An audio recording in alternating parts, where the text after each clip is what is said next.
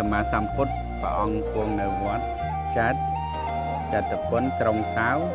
សាវត្ថីកាលនោះមានសម្លាញ់របស់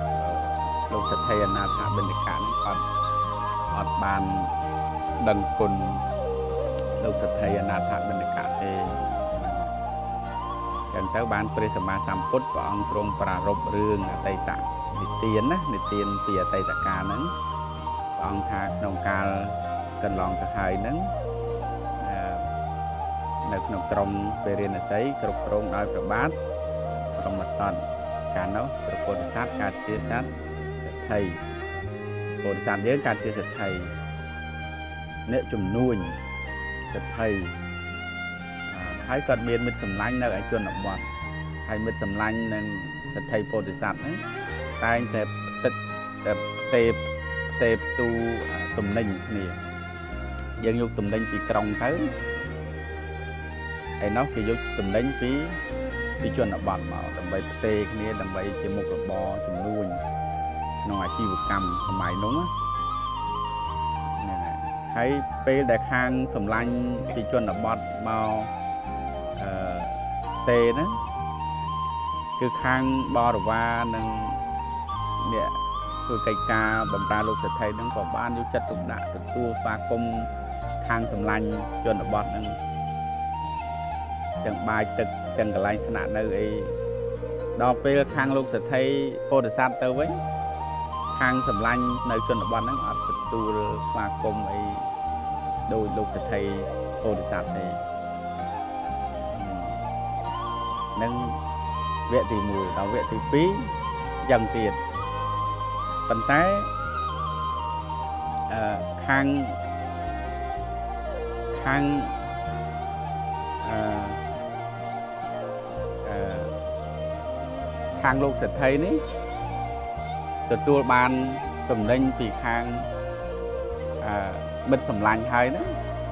ខាងលោកសេដ្ឋីហ្នឹងត្រូវយកតំណែងទៅឲ្យមិត្តសម្លាញ់នៅឯជនបទប៉ុន្តែអ្នកយកទៅហ្នឹងគេគិតខ្លាចមិត្តលោកសេដ្ឋីហ្នឹង ធ្វើចរិតមិនស្វាគមន៍មិនឲ្យអាហារបរិភោគមិនឲ្យទីស្នាក់នៅហ្នឹងក៏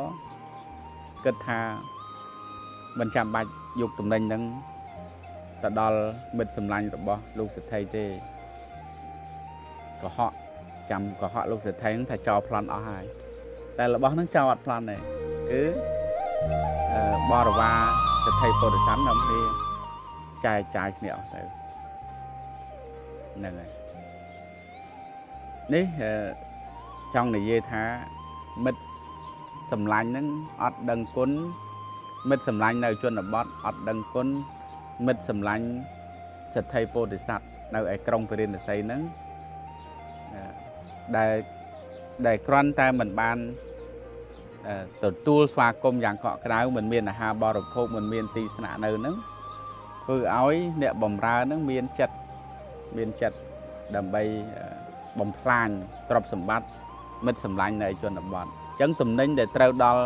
មិត្តសម្លាញ់នៅជនបទអត់បានដល់ទេដោយសារក្រុមការងារគេចែកគ្នាអស់ហើយក៏ហក់លោកសេដ្ឋីថាចោលប្លន់នេះលោកនិយាយពីទោសនៃការរមិលគុណហ្នឹងគឺនាំឲ្យអន្តតាយបែបបែបនឹងឯងហើយពោធពោធិសត្វសិទ្ធិពោធិសត្វបានមកជាអង្គ ថាគួតសិទ្ធិជនបទបានមកជាសិទ្ធិជនបទជាតិចុងក្រោយនឹងដែរហ្នឹងហើយដែលជាមិត្តសម្លាញ់របស់លោកសទ្ធិអនាថបណ្ឌកៈនៅជាតិចុងក្រោយនេះហ្នឹងអេវ៉ាំង